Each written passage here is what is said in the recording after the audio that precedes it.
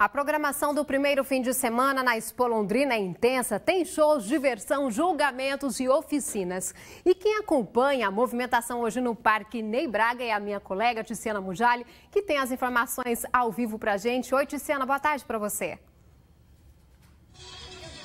Boa tarde para você, Ju. Uma boa tarde a todos. Olha que linda que tá essa tarde, né?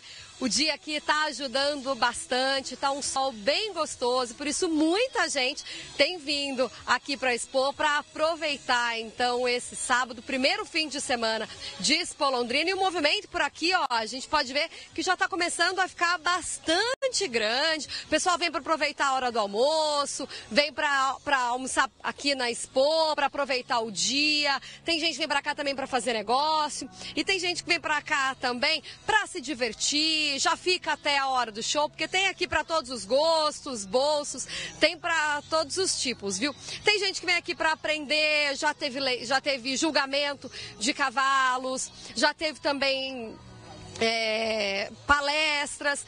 E a gente vai mostrar daqui a pouquinho um, uma das atividades que movimentou bastante a Expo, que foi a tal da vitrine da carne. Nesse momento aí em que muita gente está desconfiada, a gente vai aprender mais sobre a carne, sobre a desossa, sobre mais sobre esse tema aí que está levantando muita polêmica. A gente volta daqui a pouquinho, então, para falar mais sobre esse tema, mostrar mais opções que o pessoal vai ter para fazer aqui no parque, já que esse é o primeiro fim de semana de Expo Londrina. Daqui a pouquinho a gente volta.